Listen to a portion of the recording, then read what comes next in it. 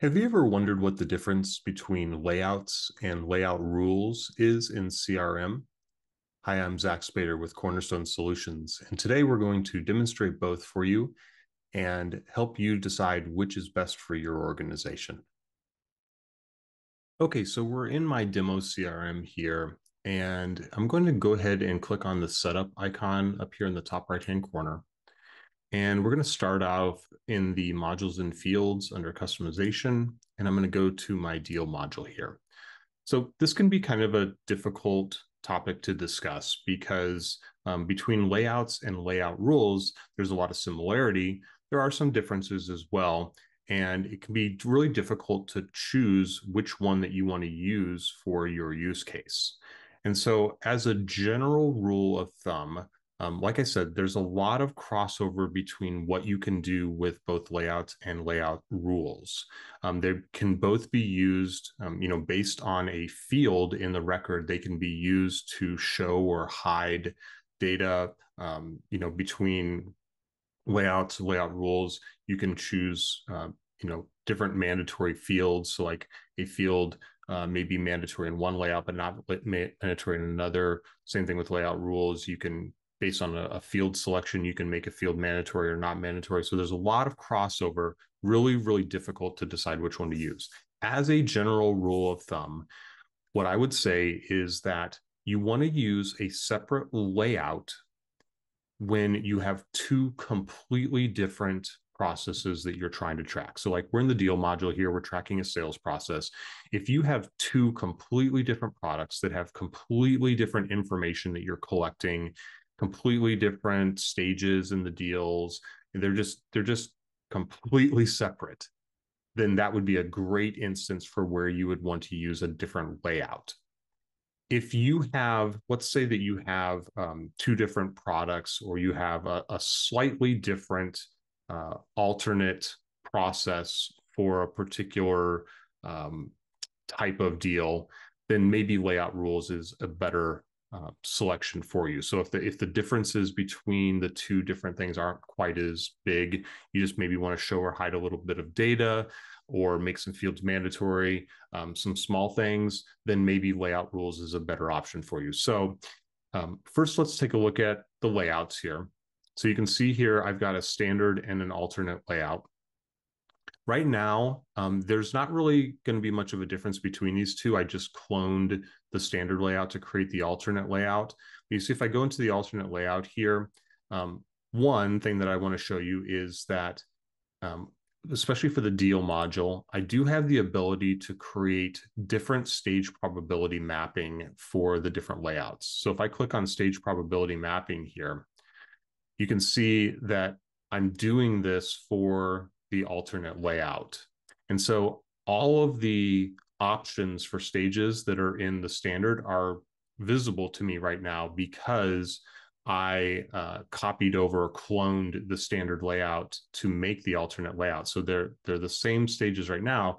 But let's say that in the alternate layout, I don't need the needs analysis stage, and I don't need the identified decision maker stage. So I have a custom stage probability here. And then uh, let's say that I want to add a, a, new field in here. Let's say that right before this, um, we're going to add a contract sent stage. And we'll save this. Okay, so we have a completely different set of stages now here in the alternate deal. So if I go back here, I'm going to choose the standard layout. Now I go into stage probability mapping. You see that this the alterations that I made in the other layout have no bearing whatsoever in the standard layout. This is exactly the same as it was before. So that's one thing. If you're doing the deal stages uh, or you're doing a, a different layout in the deals, you can have a completely different set of deal stages um, in um, those different modules. You can also change things like the probability percentages, like maybe your qualification stage in the standard layout is 10%, but in the alternate layout, it's 25%. You can have different um, probability percentages in the different layouts as well. Okay, so that's one thing that you can do with different layouts. Um, the other thing here, when I create a field, so let's say that I want to create a custom field here.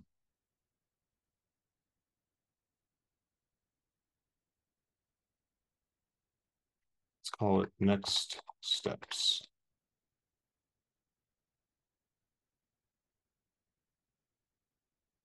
Okay, so just a simple field that I want to capture what the next steps of this deal are. Um, so I created that in the standard layout. Again, you can see when I go over to the alternate layout, that field was not created. Um, so um, that is another thing. If you create fields in one module, or you can even change the names of custom fields in one uh, layout, they do not change in the other layout as well. So if I go back over here to the standard, um, I have this next steps. Now I can, if I have a field that I created for one of the layouts and I want to add it, um, there is the option, if I click on the little ellipsis here, to add to other layouts.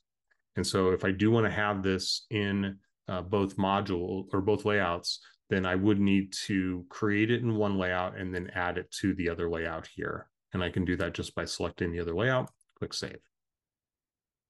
So that can be both a benefit and a downside as well, right? Because if you uh, if you want to create a field for both layouts, you have to create it in one. You have to make sure that you add it to the other. Now, with layout rules as opposed to layouts, you're using the same layout. So if you create a field in a layout, um, that field is there. If you're using layout rules to change the the fields that are shown, you don't have to recreate a field for a separate layout rule. Um, it's it's on the the layout that you created. Only with layouts do you need to create the fields for both of the layouts. Okay, so showing you how to um, to create custom fields, add those to other layouts if you need to. So you can see here that you have the ability using layouts to completely customize the look and feel of this. Like you can even go in and you can change the section names, like let's say address information. And maybe on this layout, you want it beneath the description information. And so I drag the address information underneath description. I save this. If I go over to the alternate layout here now, you can see that that section is still called address over here, and it's still the second section. Like it hasn't changed. So again, layouts can be used to completely alter the look and feel, the fields that are available, the functionality, things like that uh, within a module. So now let's take a quick look at layout rules and what you can do with layout rules. Now, one quick note before we switch over to layout rules. It's not necessarily one or the other. You can use both. So like you could have two separate layouts and each one of those layouts could still have layout rules. So it's not a one or the other. Sometimes it is. Sometimes you, you know, what you're doing, you want to choose either layouts or layout rules, but you can still have both. So you'll see here that I still have my two layouts that I created, and I'm going to now create a layout rule uh, for one of these layouts here. So let's go back here one step. Now you can see here um, in my when I click on deals here in the module section, I have my options for the different layouts. And then I have this option over here called layout rules. Now layout rules, um, I'm gonna go ahead and, and create a new rule here. Now, before I do that, let me show you real quick here. I'm going to, I have a field here that I created.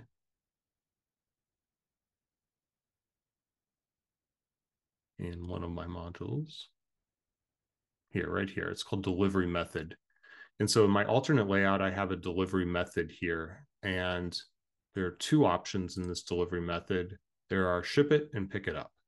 And so my use case here is that if the customer wants it shipped, then I need to know their address so that I can uh, have the address ready to, to ship that out to them. If they choose that they want to pick it up, I don't need their address. And so I'm going to use a layout rule to show or hide the address fields based on what's chosen in this delivery method. So I'm going to go back here. I'm going to go to layout rules and I'm going to choose new layout rule. We're just going to call this delivery method. Now I can choose which layout that this rule is applied to. And that's another good point is that um, let's say that you want to do the same layout rule in both of your layouts. You do have to make two different rules um, because here you select the layout that you want this to be assigned to. And so if I want the same layout rule in both layouts, um, I need to do two different rules. But I'm going to just do this in the alternate layout here. And then you choose a primary field. So in this case, the primary field that's deciding is the delivery method field. And so we'll say delivery method is ship it. We want to trigger an action and we want to, let's just, we can choose sh uh, show section since we have all the address fields in one section. And then it asks us what section that we want to show and we'll choose the address section here. Okay, so now my layout rule is created. Now, if I go back here, let's say I'm creating a new deal.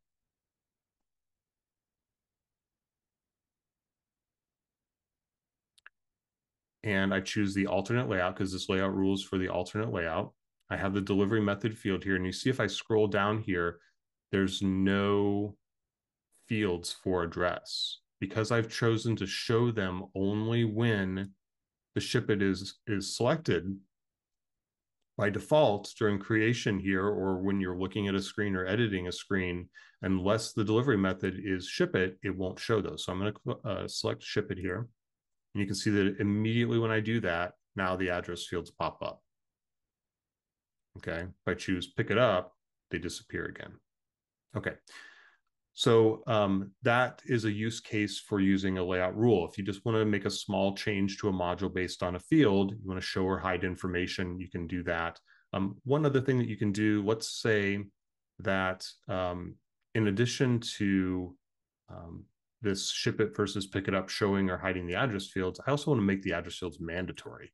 So if I choose the ship it option right now, these fields show up, but they're not mandatory. So if I exit out of here, let's go back into setup. I'm going to go to modules and fields. I'm going to go back to the deal module and I'm going to choose layout rules.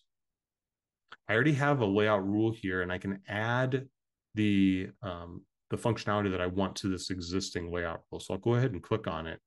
And you can see here that I, I have my uh, delivery method is ship it. We show sections. I can also choose another triggered action and I can set mandatory fields. So this time I'm going to go through and now I want to make mandatory the street, the state, we have city, and we have zip. Okay, and we'll save that. All right, that's saved. So um, now I can go back to my deal module here. And now if I create a new deal, then um, we can select the alternate layout if I choose my delivery method here, I'm going to choose ship it. So my address fields show up and now they're mandatory and I won't be able to save this record once I choose the ship it option. I won't be able to save without putting the address fields in. So I hope this video has shown you a couple different use cases for both layouts and layout rules. Again, just to reiterate, um, there's no black and white answer of whether or not you should use layouts or layout rules. Um, you'll have to decide for yourself which is best for your organization. There are pluses and minuses to both of them, but as as the whole, I would say that use layouts for big structural changes in your modules. If you have completely different processes or a completely different set of fields or information that you collect, then that's a great use case for using a separate layout. If you just have small changes that you want to make, showing and hiding some fields, making some things mandatory, uh, layout rules can be a much simpler option for you to do that. Hope this video has been helpful. Have a great day.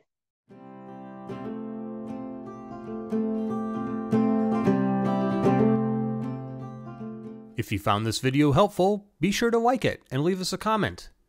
You can also subscribe to our channel and click the bell next to the subscribe button to be notified of new videos. If you want to learn more about Zoho or would like help with anything Zoho related, head on over to our website at zcrmhelp.com to connect with us. Thanks for watching.